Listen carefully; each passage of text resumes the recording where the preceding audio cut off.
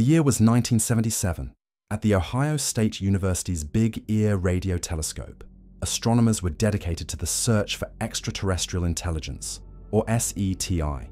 They were listening for a signal, a needle in the cosmic haystack that would prove we are not alone. On August 15th, they found it.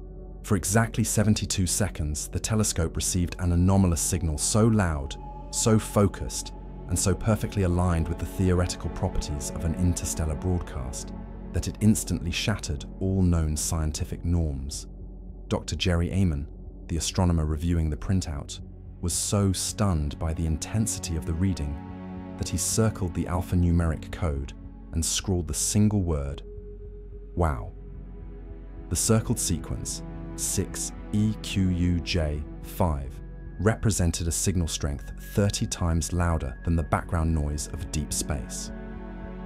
It arrived at the specific radio frequency of 1420 MHz, a wavelength known as the hydrogen line, which is the most likely frequency an intelligent species would use. Crucially, the signal originated from the direction of the constellation Sagittarius, a region of space where no stars or planets were known at the time.